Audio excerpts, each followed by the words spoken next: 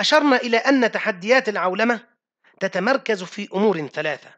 أولها التحدي الاقتصادي وثانيها التحدي الاجتماعي وثالثها التحدي الثقافي والحضاري. والآن يطيب لنا أن نبين هاتين النقطتين. أما الأولى وهي التحديات الاجتماعية فإن العولمة ستؤدي في المجال الاقتصادي إلى سوء في توزيع الثروة على المستوى الدولي وعلى مستوى المجتمع الداخلي وهو ما يؤدي بدوره إلى خلق مجتمع غليظ القلب لا تحكمه سوى المادة.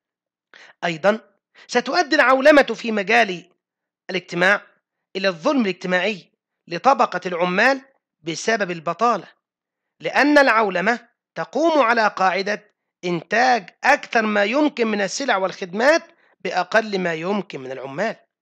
أيضا سوف تؤدي ظاهرة البطالة إلى تفشي كثير من الظواهر السلبية ومنها الحقد وتفكك المجتمع وانعدام التكافل الاجتماعي بل تهديد السلام الاجتماعي.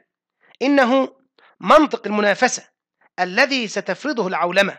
فالرأسمال هنا هو الذي يتحكم وليست سلطة الدولة التي كانت تقوم في الماضي بعملية التوازن الاجتماعي وعملية الموائمة بين مصلحة العمال ومصلحة الشركات.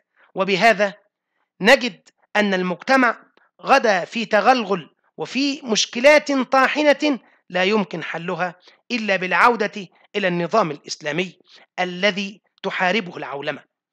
ثالثا التحديات الثقافية والحضارية هي كثيرة متعددة. كيف؟